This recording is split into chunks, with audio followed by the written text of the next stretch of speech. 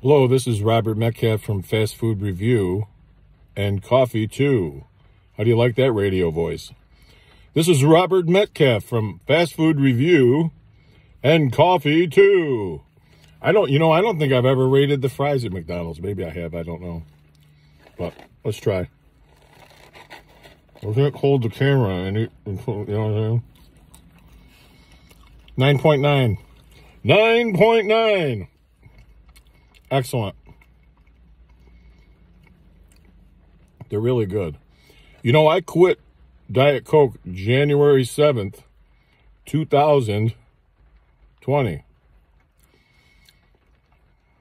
And I miss soda with with the fries, but in the hamburgers, but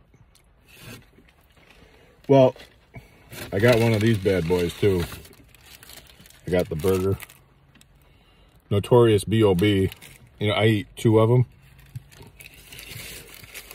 I challenge you to eat two of them instead of 68 of them or whatever the hell you eat.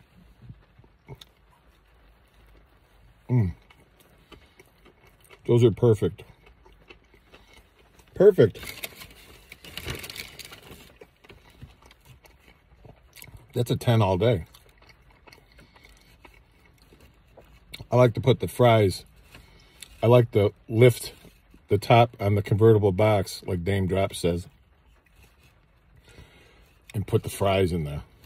Oh, you know, for a 60 year old man, it's it's good. It's it's just really good to challenge your arteries in your system, and I'm in great shape, so I can I can do it. You know what I'm saying?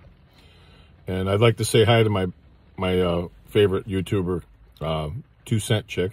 If you don't follow her, follow her and subscribe. She has the best channel on YouTube, which is the opposite of mine, which is the worst channel.